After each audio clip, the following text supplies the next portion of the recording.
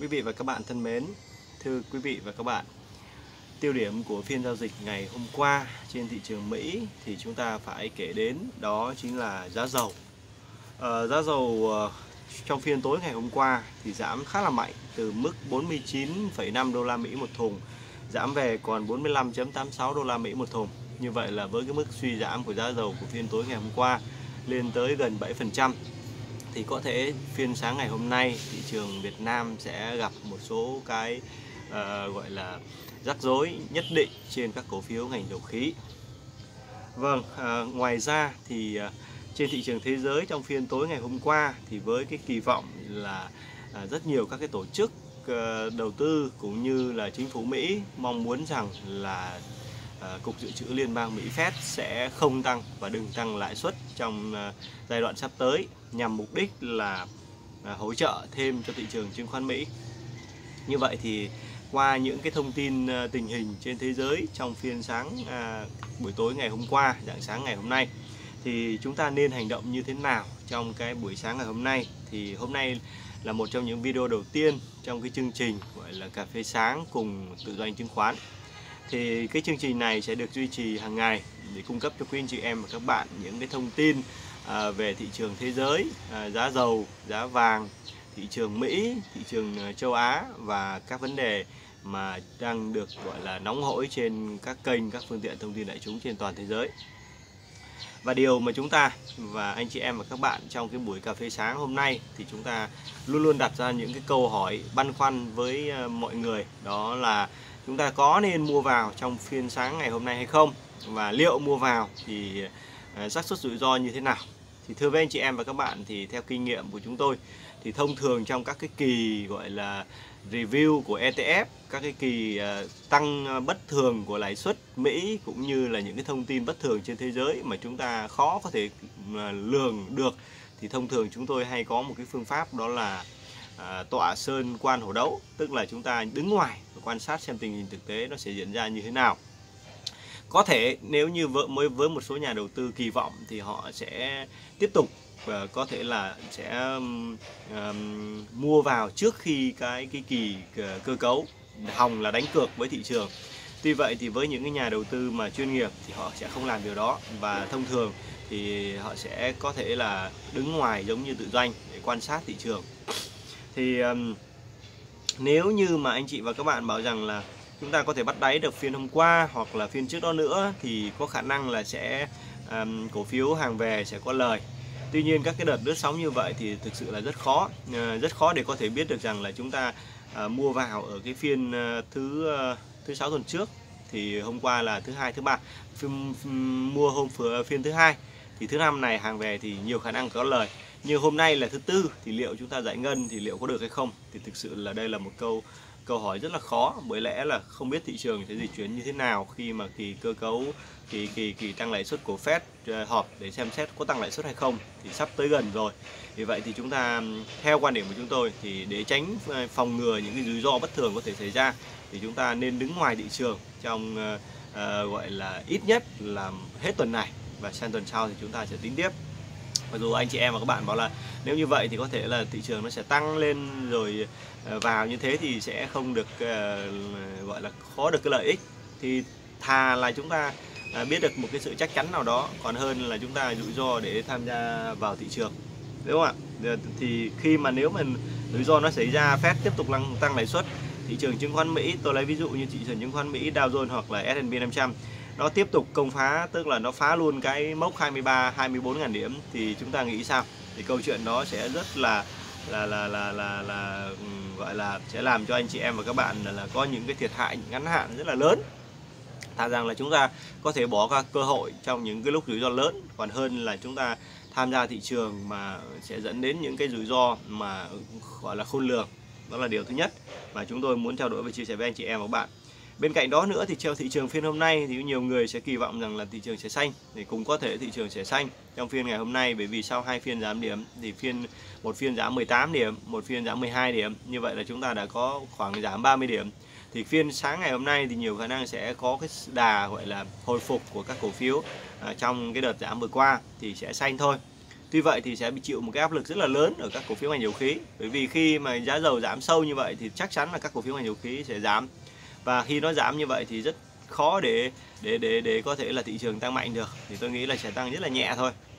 Thì tăng như vậy là bên cạnh đó nữa thì cái e ngại giống như tự doanh vừa nói là e ngại về cái việc Fed sắp tăng lãi suất hoặc có thể là sẽ không tăng. Nhưng cái này thì chúng tôi không thể biết được và không thể đoán được. Do đó thì chúng ta cứ là chơi một cái bài rất là rõ nét, tức là thà gọi là giữ tiền, mất cơ hội, còn hơn là mất tiền và ừ, gọi là không để mất cơ hội. Đó là chuyện thứ hai. Cái chuyện thứ ba nữa là nhìn trên cái biểu đồ phân tích kỹ thuật của chỉ số chứng khoán Mỹ tức là chỉ số S&P 500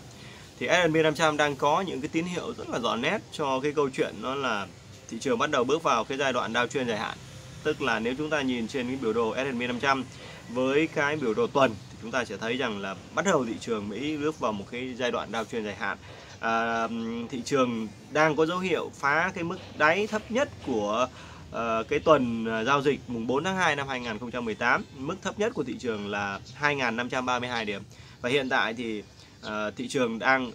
đóng cửa ở mức 2.546 điểm, thưa anh chị em và các bạn, đó là S&P 500 và nếu mà như mà nó phá cái mốc cái mốc 2.532 điểm thì một cái đợt giao chuyên dài hạn sâu, kéo dài trong nhiều tháng trời sẽ bắt đầu trên thị trường chứng khoán Mỹ. À, bên cạnh đó nữa thì chúng ta xét qua một chút về chỉ số công nghiệp Dow Jones thì à, phiên tối ngày hôm qua thì chỉ số công nghiệp Dow Jones có cái phiên hồi phục khoảng đâu đó 8 hơn 80 điểm. Tuy vậy thì trên biểu đồ dài hạn của Dow Jones thì chúng ta cũng không khó để nhận ra được cái câu chuyện đó là thị trường cũng đang bước vào cái chu kỳ Dow trên dài hạn. À, nhìn trên biểu đồ tuần của Dow Jones, à, nhìn trên biểu đồ tuần của Dow Jones thì cái mốc thấp nhất cũng là cái tuần mùng 4 tháng 2 năm 2018, mức thấp nhất của Dow Jones là 23.360 điểm. Và tối hôm qua thì sau khi hồi phục nhẹ là trở lại thì Dow Jones đóng cửa ở mức 23.675 điểm. Liệu thì Dow Jones và S&P 500 có phá cái mốc thấp nhất của tháng 2 năm 2018 hay không? Thì chúng ta còn phải chờ đợi thêm trong ít ngày nữa thì cục dự trữ liên bang Mỹ Fed liệu có tăng lãi suất hay không? Nếu như cục dự trữ liên bang Mỹ Fed tăng lãi suất thì cái mốc à, thấp nhất của tháng 2 năm 2018 à, chắc chắn là sẽ bị phá và rất nhiều anh chị em và các bạn sẽ cho một cái cái cái cái cái cái câu hỏi đặt ra rằng là uh, như vậy thì uh, liệu uh, chúng ta có quá bi quan hay không? Thị trường giảm trên xét trên chỉ số công nghiệp Dow Jones thì kể từ đầu năm tới giờ thì đã giảm bao nhiêu phần trăm? Để chúng ta biết được rằng là như vậy giảm như vậy thì đã là nhiều chưa hay là chúng chu kỳ à, suy giảm mới chỉ là bắt đầu thì chúng ta có thể quay lại một cái biểu đồ lớn tổng quan của thị trường chứng khoán à, công nghiệp Dow Jones trong suốt 10 năm trở lại đây thì thưa với anh chị em và các bạn thì Kể từ năm 2009 tới bây giờ, chúng ta sẽ xem biểu đồ công nghiệp Dow Jones tính theo tháng. À, kể từ năm 2009, tức là đáy của cái đợt khủng hoảng năm 2008 năm 2009 chu kỳ 10 năm thì chúng ta không khó để nhận ra rằng là chỉ số công nghiệp Dow Jones đã tăng từ 7.000 điểm và mức cao nhất của công nghiệp Dow Jones trong 2, 10 năm vừa qua là đạt mốc 26.800 điểm. Với cái mốc 26.800 điểm như vậy thì uh,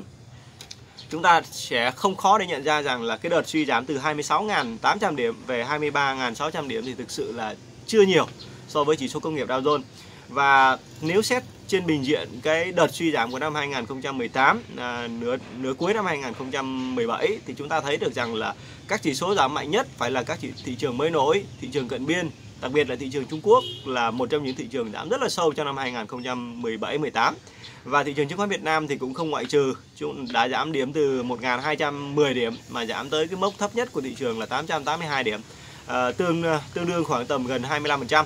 Tuy vậy thì à, chỉ số chứng khoán Mỹ thì giảm chỉ có từ 26.800 điểm mà giảm còn 23.600 điểm, tức là mức giảm khoảng tầm uh, hơn 300 điểm, uh, hơn 3.000 điểm, hơn 3.000 điểm trên mức 26.800 điểm, tức là trên 27.000 điểm. Thì thưa với anh chị em và các bạn không khó để nhận ra là chứng khoán Mỹ mới chỉ suy giảm khoảng 12%.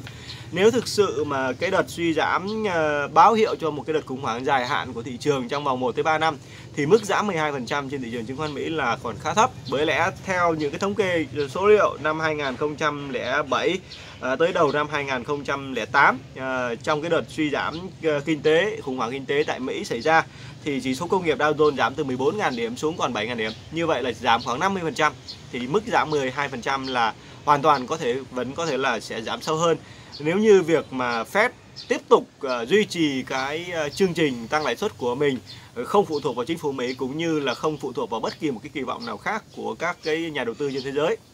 thì cái việc suy giảm này sẽ kéo dài. Và dự báo thì chỉ số công nghiệp Dow Jones rất có thể sẽ giảm về vùng 20.000 điểm 20.000 điểm. Và nếu như nhìn trên chỉ số S&P thì chúng ta cũng sẽ không khó để nhận ra là cái mức suy giảm khoảng 30% tức là từ 26.800 điểm giảm về 20.000 điểm thì tương đương khoảng 7 600 à, à, điểm. 600 điểm thì à, chia cho 26.000 điểm thì chúng ta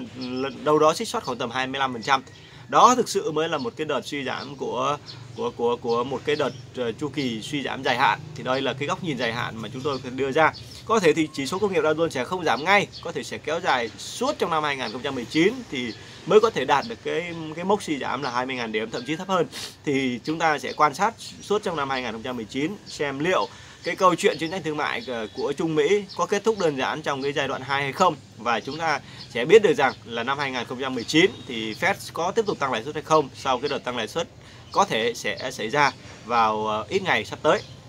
Thì một vài cái cập nhật như vậy để quý anh chị em và các bạn nắm được tình hình thì chúng tôi sẽ duy trì cái chương trình cà phê sáng cùng tự doanh chứng khoán ờ, ngày 19 tháng 12 năm 2018 để có thể cập nhật được những cái thông tin hữu ích vào các buổi sáng hàng ngày. Uh, hay à, một tuần à, 3 ngày hoặc là 5 ngày tùy vào cái tình hình thực tế mà những cái thông tin nó có tính à, gọi là uh, liên tục và tính uh, cấp bách cấp thiết thì chúng tôi sẽ gửi tới anh chị em và các bạn vào buổi sáng hàng ngày uh, vào lúc 8 giờ 10 8 giờ 15 hàng ngày thì chúng ta có thể vào, vào kênh của tự doanh chứng khoán để cập nhật và vui lòng để lại like cũng như là chia sẻ video và có thể subscribe kênh để nhận được những video mới nhất hàng ngày. Kính chào quý, quý anh chị em và các bạn. Hẹn gặp lại anh chị em và các bạn trong một chương trình video tiếp theo. Thân ái chào và hẹn gặp lại.